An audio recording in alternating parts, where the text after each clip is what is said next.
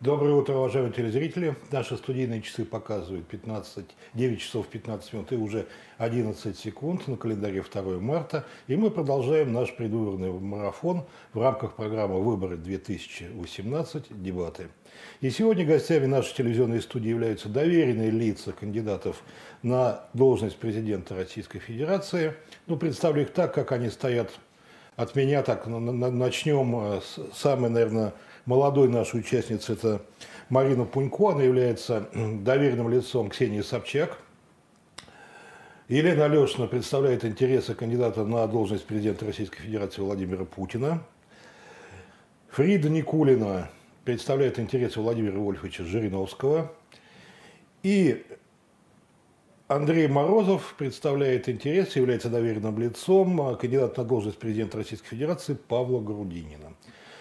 Итак, уважаемые гости, по традиции первый вопрос. Почему избиратели должны прийти 18 марта на избирательные участки и проголосовать, именно за вашего кандидата? Марина, начнем с вас тогда. Почему вы должны голосовать за Ксению Собчак? Почему вы выбрали этого кандидата? Это единственный молодой участник предвыборной гонки. Это человек амбициозный, это человек образованный и человек компетентный, который может изменить наше будущее.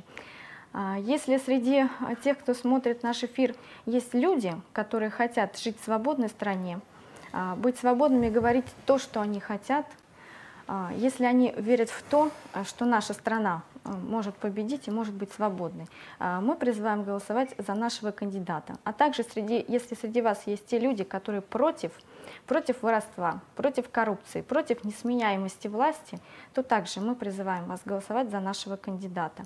Каждый день мы, мы ходим на улицы нашего города, чтобы агитировать за нашего кандидата.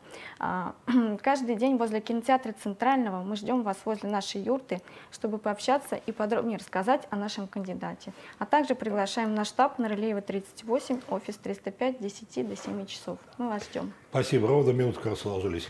Елена Николаевна, почему должны прийти избиратели проголосовать за Владимира Путина? Ну, мне кажется, что вчера Владимир Владимирович, наш кандидат, еще, как говорится, президент нашей страны, выступил перед всем народом со своим посланием Федеральному собранию. Хотя это послание и Федеральному собранию, но это было послание всему народу, всей России. Потому что в этом послании – была представлена грандиозная программа развития, развития всей страны, и экономики, и э, всех отраслей, и программа внешней политики, и программа развития армии. Здесь были, э, Владимир Владимирович ответил практически на все вопросы, которые стоят перед нашей страной. Поэтому такая шикарная, такая грандиозная программа, которая программа действия, которая позволит стране сделать существенный рывок и выйти в лидеры, в лидеры мировых держав. Поэтому мы считаем, что наш кандидат достоин поддержки всего народа, потому что он предлагает стране, предлагает Спасибо, россиянам... минута истекла, к сожалению. Да. Э, Фрида Андреевна, почему надо голосовать именно за Владимира Вольфовича? Уважаемые жители Калужского, Калужской области, приближается самый ответственный момент в нашей жизни – выборы президента Российской Федерации.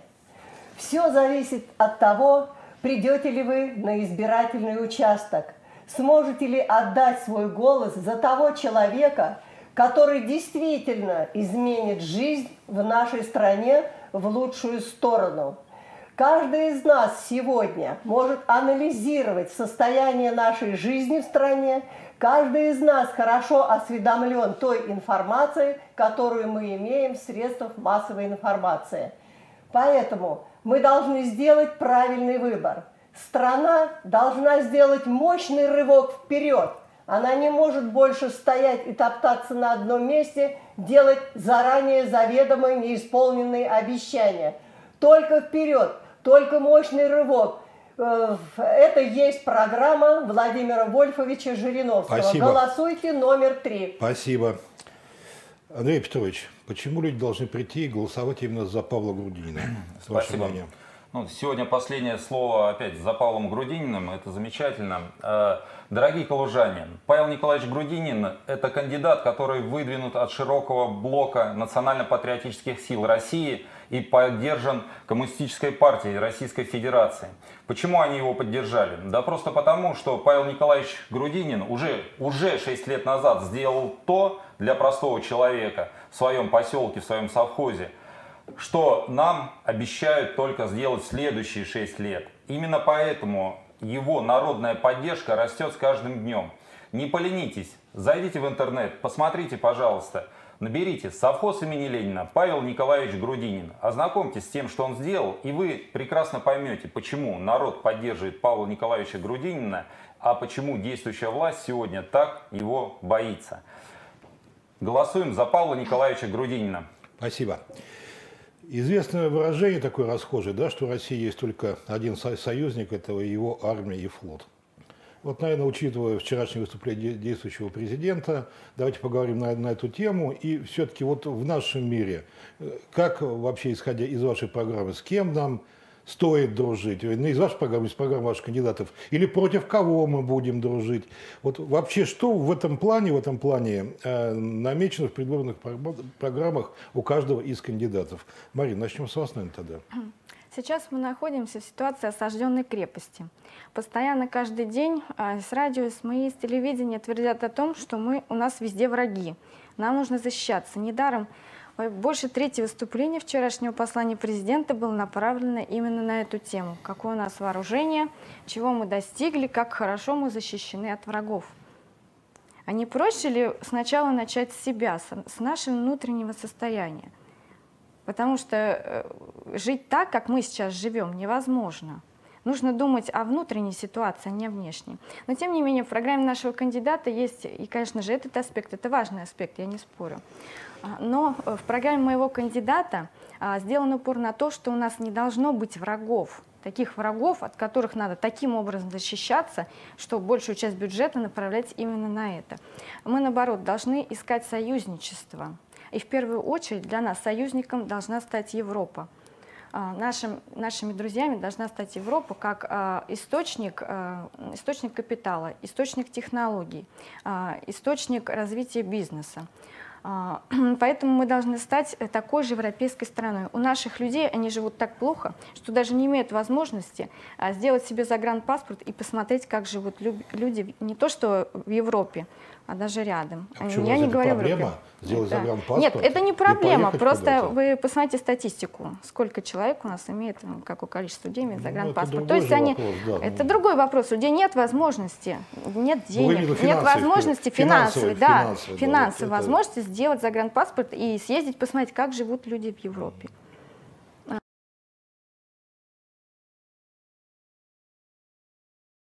Мы должны к этому стремиться, а не искать врагов.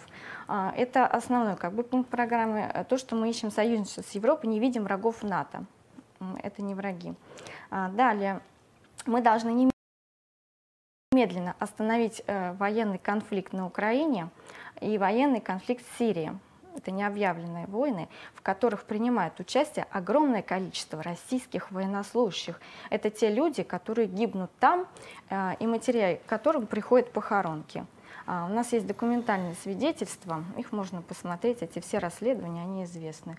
Это должно быть немедленно прекращено. А, также важнейшие внешнеполитические решения не должны приниматься а, среди чиновников они должны быть выставлены на всеобщее обсуждение и приниматься а, и в регионах, и в гражданском обществе, не так, как это делается сейчас кулуарно, когда решения принимаются президентом и группой небольшой чиновников. А, также мы должны немедленно э, и последовательно добиваться отмены санкций, а, которые сейчас э, э, наложены на нашу страну. Это тормозит развитие нашей экономики. Мы должны этого добиться, отмены этих санкций постепенно постепенно. Спасибо. И отменить политику Спасибо. импортозамещения. Время стекло, к сожалению. Угу. Елена Николаевна, ну вот вчерашнее выступление действующего президента, он и кандидат, которого вы представляете, вот лично на вас, и как, какое произвело впечатление. И вот это выражение «кто хочет мира, тот должен готовиться к войне». Не мы, к сожалению, его придумали, но вот мы оказались кажется, в той самой ситуации. если исходить из вчерашнего послания. Ну, э, тот, кто внимательно слушал послание Владимира Владимировича, обратил внимание на то, что он сказал, что мы ни на кого не собираемся нападать, мы ни у кого ничего не собираемся отнимать. Мы просто хотим мирно жить. Мы просто хотим развивать свою страну. А для того, чтобы развивать свою страну, нужна, нужны мир и стабильность. Так вот, наша крепкая армия, которая, и возможности этой армии, которые были продемонстрированы вчера президентом, показали, что это надежный щит, который сможет защитить страну от возможных внешних нападок, внешних агрессий. Точнее, даже просто отбить желание, отбить такую мысль, напасть на нас и вообще каким-то образом влиять на нашу страну. Владимир Владимирович всегда подчеркивал, и, нам, и выступая в Мюнхене в 2007 году, он говорил о том, что Россия хочет развиваться и будет развиваться как суверенная страна, что Россия имеет свои интересы и будет вести свою внешнюю политику таким образом, чтобы свои интересы защищать. Поэтому, когда мы говорим о том, что э, нужно развиваться внутри страны, нужно развивать экономику, нужно понимать, что для того, чтобы развиваться, нужно быть в безопасности. Посмотрите, какая у нас огромная страна, какая у нас огромная территория. Но у нас мало людей. У нас огромные богатства. Но у нас не хватает людей для того, чтобы э, активнее развивать страну, для того, чтобы можно было защитить ее ресурсы от желания ими поживиться.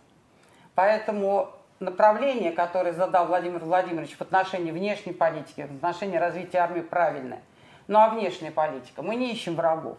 Обратите внимание, Владимир Владимирович всегда говорит очень корректно, даже тогда, когда э, затронуты наши интересы, когда нас оскорбляют и обижают, он все равно называет всех партнерами. Э, когда говорят о том, что НАТО не представляет нам никакой угрозы, почему оно продвигается к нам на восток, тоже непонятно. Почему все ближе и ближе э, расположены э, базы НАТО? Посмотрите, во всем мире базы Соединенных Штатов Америки. Разве у нас есть такое количество баз? Они-то для чего готовятся? Для какого мира? Для чего им все это? Ну а, а война в Сирии? Да, много споров было по этому вопросу, и мнения разделялись, но хочу сказать, что, э, соответственно, международный терроризм и ИГИЛ, который окопался в этой стране, в общем, он представлял реальную угрозу всему миру, в том числе и нашей стране. И мы видим, сколько было банд подполей, банд формирований в нашей стране, которые ликвидировали правоохранительные органы. И необходимо было эту гидру уничтожить. Россия ведет политику, в общем-то, мирного существования с другими странами. Она приглашает к партнерским отношениям, она приглашает а, к дружбе, она э, не навязывает своего мнения. И Владимир Владимирович всегда говорит о том, что не должно быть однополярного Елена мира. Николаевна, к сожалению, время стекло. Да, мы за многополярный Спасибо. мир. Спасибо. А, Фрида Андреевна, Владимир Вольфович да- достаточно долго в политике находится. Он, наверное, у нас такой политический тяжеловес по-хорошему, если об этом говорить. Да, но в свое время э, даже такая была, было у выражение, там, омоем сапоги в Индийском океане. Сейчас, понятно, он риторику несколько изменил. Вот что в его предвыборной программе сейчас значится, что касается оборонного комплекса, нашей армии, международной политики. Тем более он же сам, у, нас же политолог, специалист по международным отношениям. Ну, все мы знаем Владимира Вольфовича Жириновского. Он и не зря выдвинулся в кандидаты президента, потому что это очень опытный политик. Это политик дальневос- дальневосточных и наших южных стран, которые прилегают к нашей стране, к нашим границам. Он востоковед. Это очень грамотный и умный политик. Еще 15 лет назад Владимир Вольфович говорил о нашей армии. Он говорил, чтобы армия была по контракту, что сейчас мы и видим, что больше 50% у нас уже контрактники. То есть план, по которому ста- ставил сам Жириновский как, как, дипло- как, как дипломат, как политик, он уже выполнен в нашей стране. Владимир Вольфович Жириновский также говорил, чтобы была армия сильная, ее не обязать, обязательно необходимо вооружать новейшей техникой.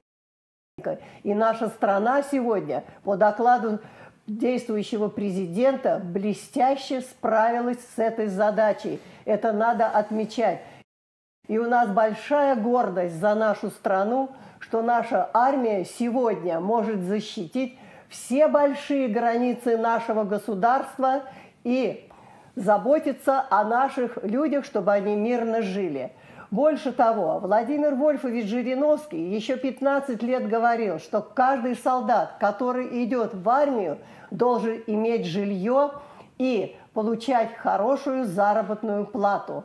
Сейчас из выступления действующего президента мы услышали, что действительно очередность в армии сократилась. Это тоже радует. Поэтому так, такой курс, он должен продолжаться не только в нашей армии, но и в других вопросах нашей жизни, нашего народа. Внешняя политика, конечно, имеет много э, отдельных неприятных отношений к нашей стране, где-то законных, а может быть где-то и незаконных.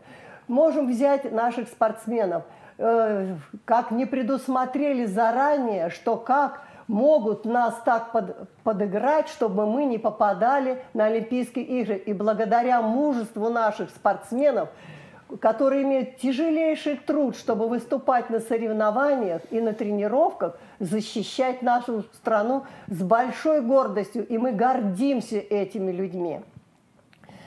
Э, у нас блестящий дипломат Лавров, но блестящий дипломат Лавров один, он также не может сделать один в большей степени.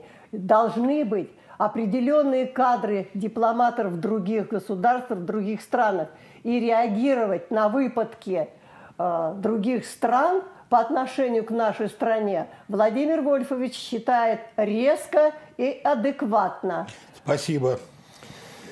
Андрей Петрович, Павел Николаевич Грудин, что он предлагает Значит, вот по этому вопросу, который мы сегодня обсуждаем в А, студии? Давайте поговорим в первую очередь о дипломатии. Все начинается с дипломатии, правильно? Ну, есть э, дипломатия канонерок, а есть дипломатия... Не перебивайте. дипломатия Давайте поговорим мира. о дипломатии и поговорим о ней честно. Мы сегодня потеряли нашу братскую Украину. А потеряли ее именно потому, что когда наши так называемые партнеры там вели серьезную дипломатическую работу, у нас послами там назначались отставные чиновники. Сначала Черномырдин, потом Зурабов. Результат вы видите. Наша власть нам громко заявляла о том, что Курильские острова – это только наша территория. Сегодня мы уже обсуждаем договор о совместном использовании этих территорий. Э, Наверняка многие из телезрителей знают, что сегодня за так Китаю отданы огромнейшие территории в Преамурье с правом пользоваться недрами. Э, Многие знают то, что сегодня Китай вырубают нашу сибирскую тайгу. И не менее 500 вагонов ежедневно уходит с нашей территории России в Китай, груженные лесом. Это тоже факт нашей дипломатии сегодняшней. Ну, последний пример, вот вопиющий уже сказали, это, конечно же, вопиющий пример провала дипломатии, это Олимпиада. Когда наши герои-спортсмены шли в серых мышиных одеждах под белым флагом. Это просто недопустимо. А почему так происходит? А происходит это просто потому, что в мире никто никогда не будет уважать страну, которая, имея огромные богатства, держит в нищете большую часть населения. Никто никогда не будет уважать страну, которая позволяет человеку, который украл миллиард, не сесть в тюрьму, а быть зачисленным в элиту, которая позволяет вывозить народные богатства из страны. И за последние 10 лет более чем на 1 триллион долларов вывезено этого народного достояния. Вот вам живые примеры. При этом э, мы сейчас пытаемся подкупить соседние какие-то страны, списывая им долги. 150 миллиардов долгов списано, а при этом мы не можем найти у себя в стране деньги на лечение детей. У нас нет денег на развитие собственной промышленности, сельского хозяйства, экономики, но при этом мы исправно покупаем акции правительства США их облигации, тем самым помогая развиваться их экономике. Э, Вот это живые примеры. Э, Бряцание оружием – это, конечно, не выход. Это всегда порождает негатив и злобу. Павел Николаевич стоит на позиции такой, что сначала должна работать дипломатия. Но дипломатия сильной и уважаемой страны. Уважают только сильных и достойных. Все это должны прекрасно понимать. Спасибо. Э, У нас остается еще, еще время определенное. Так, давайте буквально такой вот э, коротенький такой блиц. Вот, если вдруг ваш кандидат станет президентом, с чем начнет? Вот в пределах одной минуты. Марина, давайте сразу. Что Ксения Анатольевна сделает Именно во внешней политике? Давайте Просто. здесь... Ну, раз мы говорим сегодня о внешней политике, давайте, давайте, да. как-то Давайте. держаться этой темы. А, Очень больной вопрос, и он как бы ну, главный а, в программе Ксении, это, конечно, вопрос Крыма. Возрождение демократии а, у нас в России невозможно без решения этой проблемы. Крым, согласно международному праву, является а, территорией Украины.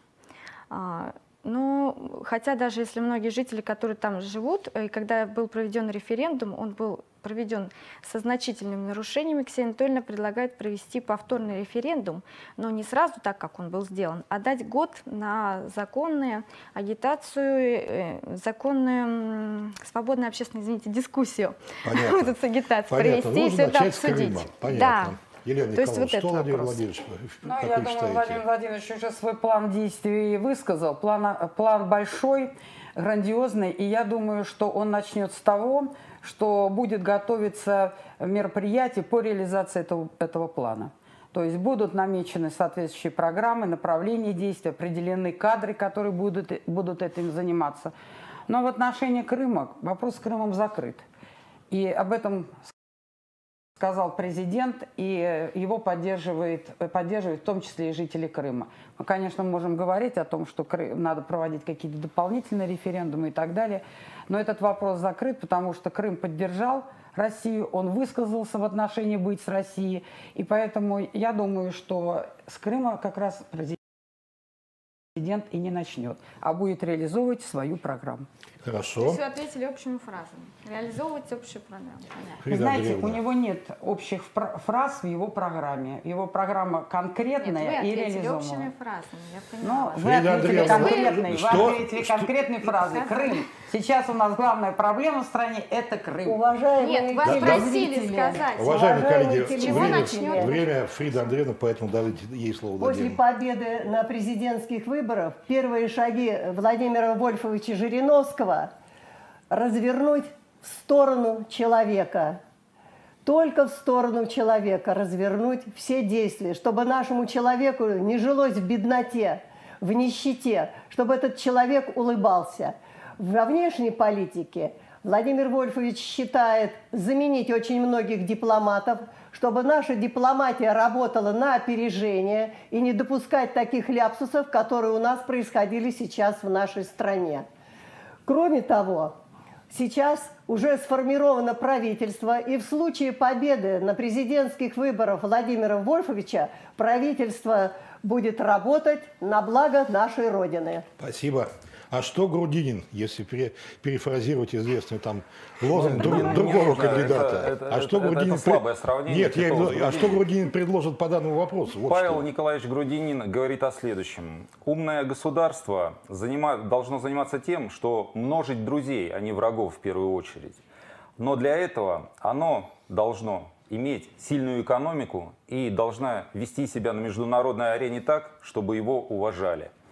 И поэтому, конечно, в первую очередь э, первые шаги Павла Николаевича Грудинина будут направлены на восстановление нашей экономики и на поддержание населения. Э, Конечно, будет введен прогрессивный налог, который позволит поддержать бедных, э, снять с них полностью налоговую нагрузку, взять необходимые средства у богатых. Центробанк должен работать на нашу страну, на развитие нашего производства и сельского хозяйства.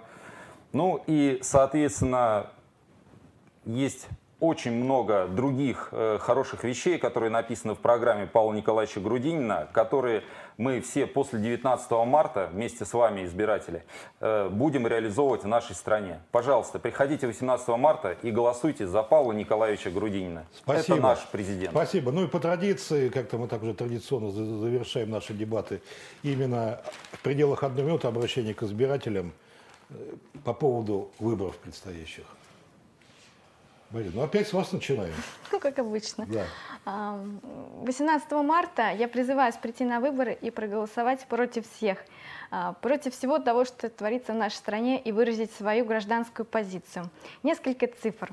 В России тратится 2,7% а, на наше здравоохранение. Закрыто 10 700 было больниц, стало 5,35 тысяч. Станций скорой помощи было 3276, стало 2576. 150 миллионов в день тратится на войну в Сирии. Подумайте над этими цифрами, сделайте свой правильный выбор. Голосуйте против всех. Пятый номер бюллетеня Ксения Собчак. А вы призвали против всех голосовать. Получается, против? Против всех, против э, остальных кандидатов, против ситуации в нашей стране. Елена Николаевна, пожалуйста, ваша минута. Против той графы, которую нас отобрали. Конечно, гол- голосовать против всех, естественно, не надо, потому что страна должна жить дальше, развиваться. И голосование против всех – это голосование ни о чем. Мы призываем голосовать за нашего кандидата. Но наш кандидат Владимир Владимирович Путин, встречаясь со своими доверенными лицами, сделал акцент на то, что люди должны в первую очередь а, прийти на выборы и сделать свой выбор. Не обязательно в его пользу. Необходимо сделать выбор такой, который человек считает нужным сделать для себя. То есть ту программу, которую он поддерживает, ту программу, которую он разделяет. Но мы, конечно, естественно, призываем за нашего кандидата. Мы считаем, что Владимир Владимирович сильный руководитель, сильный президент, который сможет вывести страну из, в общем-то, достаточно сейчас сложного экономического положения. К которому он привел. Ну, вы знаете, не все так просто в этой Не жизни. все так просто, Да, время, к да, сожалению, да, да. поэтому время э, Владимира Вольфовича, Фрида Андреевна, пожалуйста.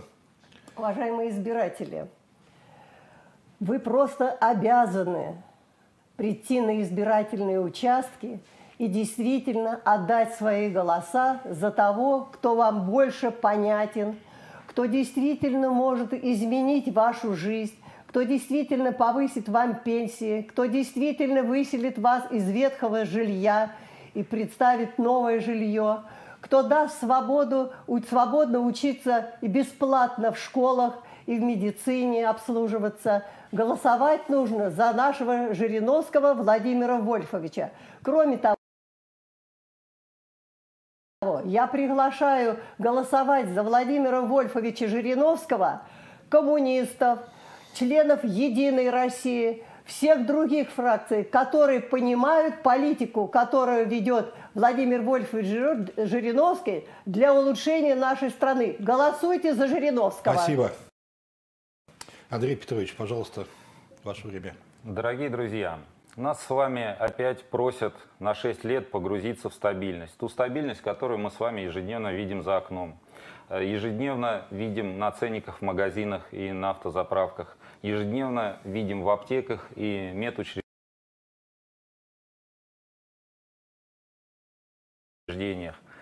Павел Николаевич Грудинин говорит о другом. Наша экономика должна быть сильной, страна должна быть уважаемой. А главное, люди, которые в ней, живут, должны не существовать, а достойно жить.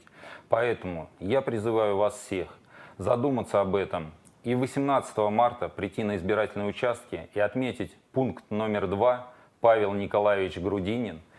И с 19 марта мы с вами уже начнем жить в новой стране и строить новое социально ответственное государство.